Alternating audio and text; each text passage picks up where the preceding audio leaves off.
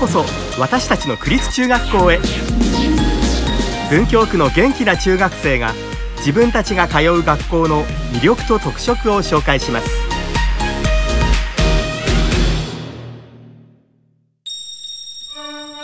第2部のスタートは小石川植物園に隣接する第中中学校です。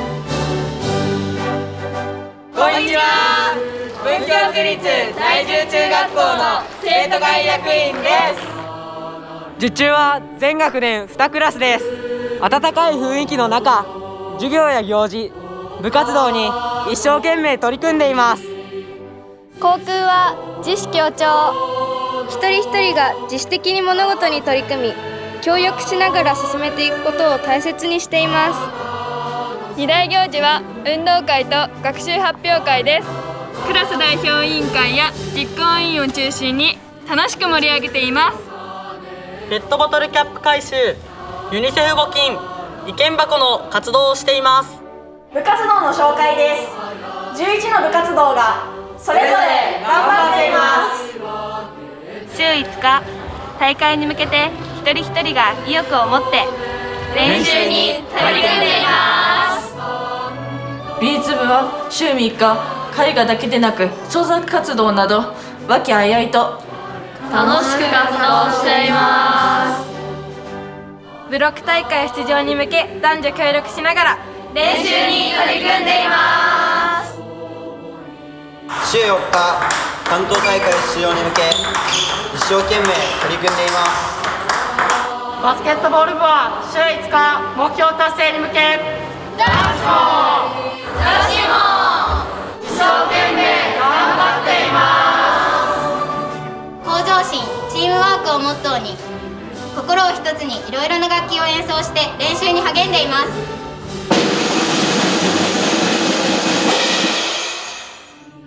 第中中学校に来てください。次は千駄木にある文林中学校です。こんにちはについて紹介します。分林中の生徒は何度踏まれても立ち上がり深く根を張るという意味のタンポポ精神で毎日生活しています。そしてこちら。昨年度考案されたマスコットキャラクターのリンリンです。文林中を卒業した大先輩を紹介します。オリンピックで4個の金メダルを取った水泳の北島選手は1998年度の卒業生です。分林中の制服はこのように衣替えがなく自分の体調に合わせて選んでいます。文林中学校の授業は少人数で補助の先生が見守ってくれます。わからないことがあったらすぐに先生に聞くことができますそれでは部活動を紹介します。運動部野球バスケットボール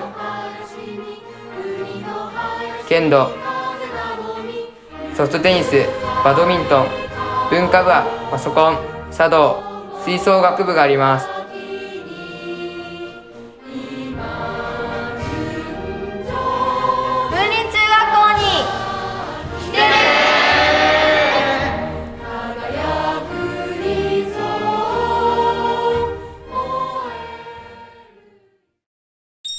次は春日通りに面して立つ明大中学校です。明大中学校へ。ようこそ。明大中の生徒は何事にも一生懸命取り組んでいて素晴らしい。ところで校長先生はこのウェブボックスをご存知でしょうか？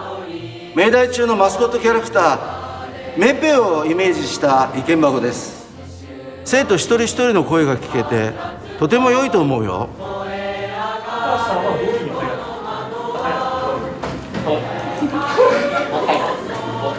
歴史でさ爆破体制ってやったじゃん大会出場経験もあります。女子は7年連続都大会に出場しています。毎日楽しく仲良く本格的な練習をしています外部指導の先生に茶道を指導していただいています。共同作品を部員全員で協力して作っています。楽しい雰囲気で仲良く活動しています。目標は年2回の牛発行です。部員数が多く文京区内で男子が一番多いです。ぜひ来てください。校庭にはテニスコートがなんと4面取れます目標は都大会ベスト8です。都大会の常連です。明大中学校の校舎を一回りしたよ。他にも紹介したい場所はありますが明大中に来た人だけのお楽しみ。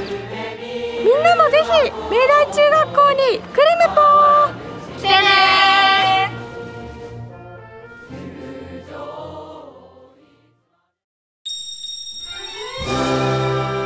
次は本郷三丁目駅からすぐの本郷大中学校です。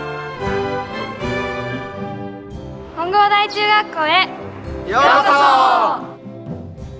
本郷大中学校の一日は気持ちの良い挨拶から始まります。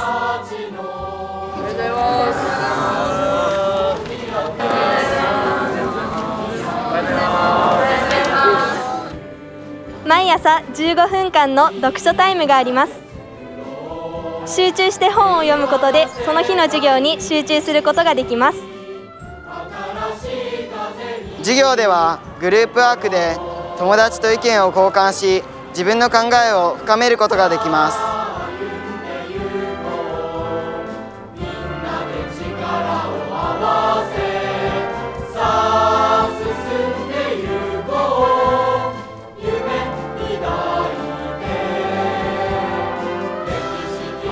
待ちかねの給食の時間です。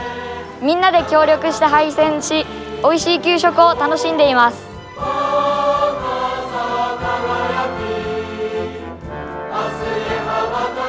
本郷大中学校では部活動が活発に行われています。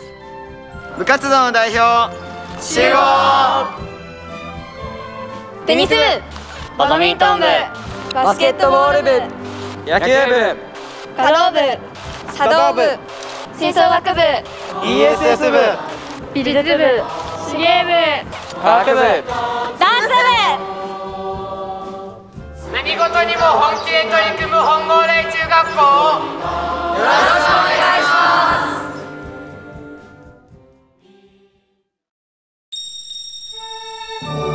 最後は茗ヶ谷と五国寺に近い音羽中学校です皆さんこんにちは。これから音羽中学校について紹介します。それではどうぞ。これが音羽中学校の校章です。音羽中学校の校章には羽に音羽中学校の生徒が未来に羽ばたく意味が込められ2枚のイチョウには統廃合された第5中学校第7中学校を表す切り込みがあります。ここはグラウンドですここでは体育の授業や運動部の活動が行われています。また昼休みにはアリーナグラウンド新大塚公園を使用することもできます。ここはアリーナです。アリーナは体育の授業や昼休みの遊び場運動部活動などを行う場所です。昼休みの遊びはコロナ対策として1クラスずつ日を変えて遊んでいますまた入学式や卒業式学習発表会などさまざまな行事が行われます。ここからは挨拶についての説明を始めます。私たちは毎朝8時から8時10分までの間各学年のフロアで挨拶活動を行っています。